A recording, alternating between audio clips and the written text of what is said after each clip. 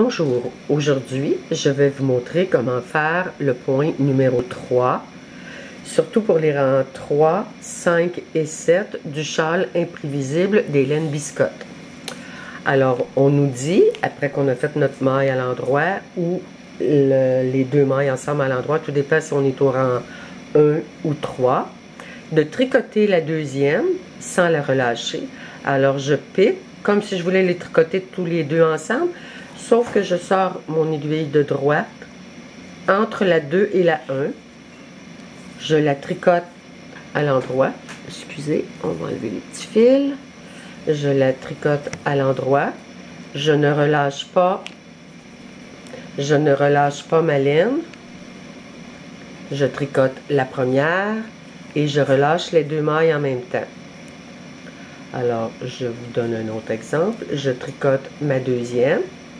Ma, mon aiguille de droite est bien sortie entre la 2 et la 1. Je tricote la deuxième sans relâcher mes mailles de l'aiguille de gauche. Et je tricote la première et je les relâche tous les deux. J'en fais une petite dernière. Voilà. Je tricote la deuxième sans la relâcher. Je tricote la première et je, je les relâche tous les deux. Voilà, bon tricot!